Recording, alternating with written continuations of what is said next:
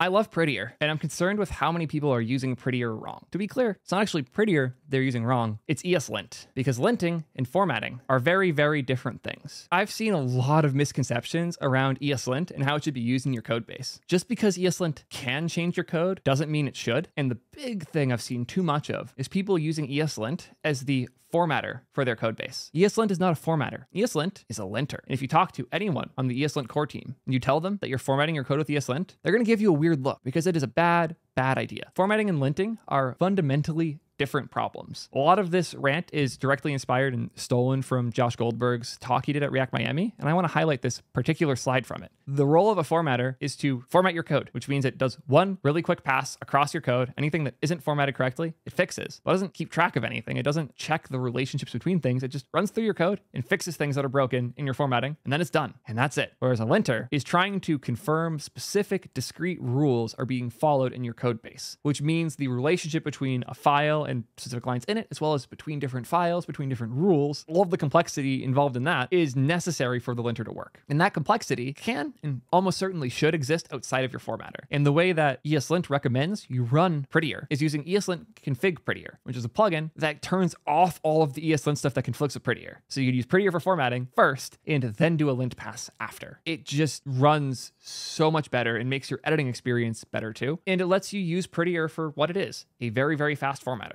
And you don't even have to use Prettier. Dprint is a great alternative that is insanely fast. It's written in Rust and lets you format your files effectively instantaneously. It's also a bit more configurable. So if your reason for using ESLint instead of Prettier for formatting is configuration, you should use a formatter that has better configuration. My reason for using Prettier is I don't want to think about the config anymore. I just want my code to always look roughly the same. And Prettier does an absolutely phenomenal job at that. I don't usually have a Prettier config unless I'm having a bug with one of the like built-in packages, like the plugin for Tailwind in Prettier. I'm using PNPM, I have to manually put that in. But other than that, I almost never have a Prettier config because the defaults are fine. Defaults are actually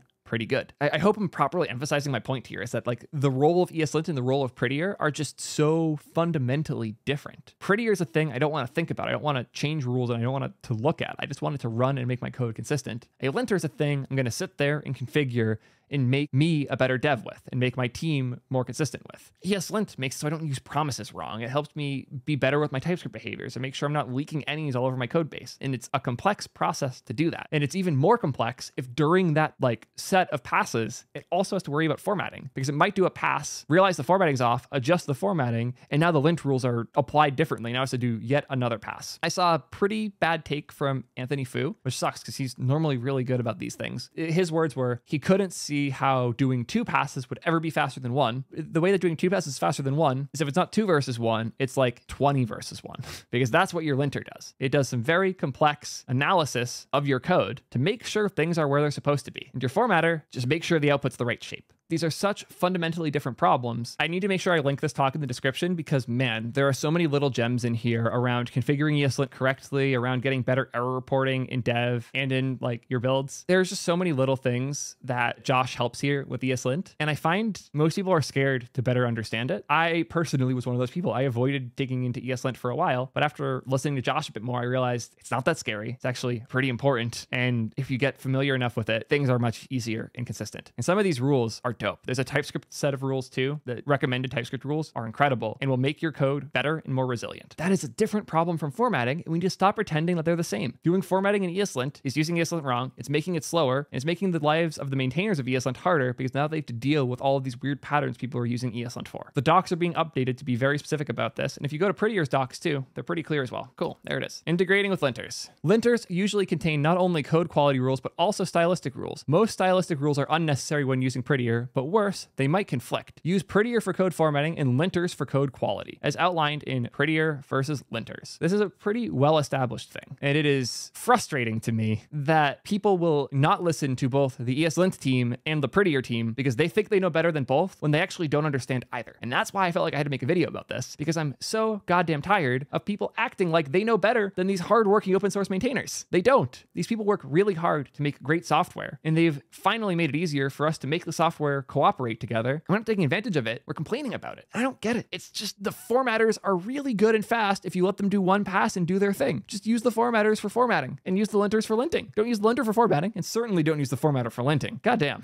And thankfully in here, they say you can use these two plugins that will turn off prettier conflicting rules in ESLint. And they even have here ESLint plugin prettier, which they specify you shouldn't use because what this does is it runs prettier's rules in ESLint. Because the linter has to worry about so many conflicting rules and so much context that exists outside of the specific line of code being formatted, it also doesn't necessarily do formatting great. And I don't remember the specific examples, but I know Josh gave examples of weird tab behaviors that the linter couldn't handle well, that Prettier handles really well. And those types of things are more complex when your process to read the code is more complex. So if you want to do this stuff right, the way to do it right is you use Prettier, ESLint config Prettier, and then whatever ESLint config you want to on top of that. But you should not be using ESLint plugin Prettier as your Prettier run. It just doesn't make sense. I hope this one was helpful. The thing I run into a lot and I've seen way too much. Generally, if you set up Create T3 app or even create Next app, you're gonna get good enough linting, then you can just npm install Prettier and you're done. It should be that simple, can be that simple. It is that simple. Please love of God, just let it be simple. If you want to hear more about things people use wrong, I'm going to pin a video in the corner right here where I talk all about how people have used JavaScript wrong because it annoys me. so check that out if you haven't already. Good seeing y'all as always.